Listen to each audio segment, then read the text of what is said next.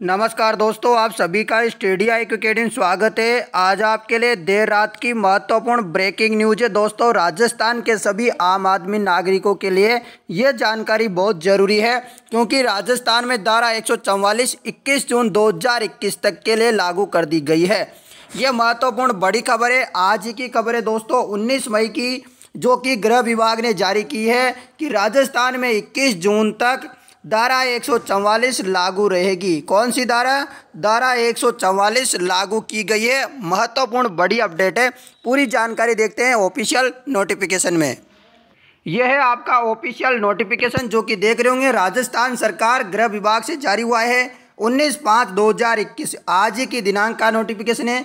ये, अब देखिएगा यहाँ पर यह राज्य सरकार के ध्यान में लाया गया है कि राज्य के समस्त जिला मजिस्ट्रेट के ने दंड प्रक्रिया संहिता 1973 की धारा एक द्वारा प्रदत्त शक्तियों का प्रयोग करते हुए कोरोना संक्रमण से बचाव के मद्देनजर दिनांक 18 तीन 2020 से 19 तीन 2020 को निषेधात्रा लागू की गई थी। पुलिस आयुक्तालय जयपुर, जोधपुर एवं समस्त जिला मजिस्ट्रेट को दंड प्रक्रिया संहिता उन्नीस की धारा एक सौ चौवालीस के अंतर्गत 21 ग्यारह 2020 को प्रतिबंधात्मक आदेश जारी करने के परामर्श दिया गया था।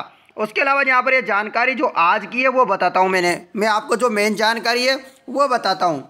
अतः राज्य सरकार दंड प्रक्रिया संहिता 1973 धारा एक सौ चौवालीस के की उपधारा चार के परंतु द्वारा जो यहाँ प्रदत्त शक्तियों का प्रयोग करते हुए राज्य में कोरोना संक्रमण से मानव जीवन एवं स्वास्थ्य की रक्षा मद्देनजर उक्त अवधि को दिनांक 22 पाँच 2021 जो है, ख़त्म होने वाली थी पहले ये 22 पाँच 2021 को। परंतु 22 पाँच 2021 से ही 21 छः 2021 तक वर्धित किया जाता है।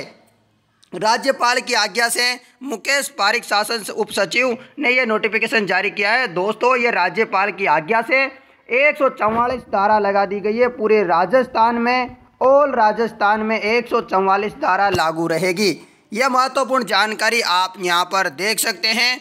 महत्वपूर्ण जानकारी है यहाँ पर आप जो है सार्वजनिक जगह या किसी भी प्रकार की अन्य जगह पर ज़्यादा संख्या में आप बिना कारण आप इकट्ठा नहीं हो सकते। यानी कि आपको जो है चार लोगों से ज़्यादा लोगों को एक साथ इकट्ठा नहीं होने दिया जाएगा। ये जो होता है, ये एक धारा का मामला है। तो इसमें आप जो है इकट्ठा होकर के एक साथ नहीं बैठ सकते, नहीं तो पुलिस लाठी चार्ज भी कर सकती है। ये सारी जानकारी आप देख सकते हो। और एक अच्छी खबर है, राजस्थान के विद्यार्थियों के लिए कि R S M S S B board जो है, ओपन हो चुका है, खुल चुका है। आपके लिए अब कुछ खबरें आना शुरू हो जाएगा। तो दोस्तों, इस प्रकार की अपडेट आप देख सकते हो। यहाँ पर जो है, आपकी सारी जानकारी समय समय पर आपको बता दी जाएगी। इसलिए आप बने रहिएगा हमारे चैनल स्टडी आई अकेडमी के साथ, ताकि आप राजस्थान की कोई भी खबर से ना चुकें।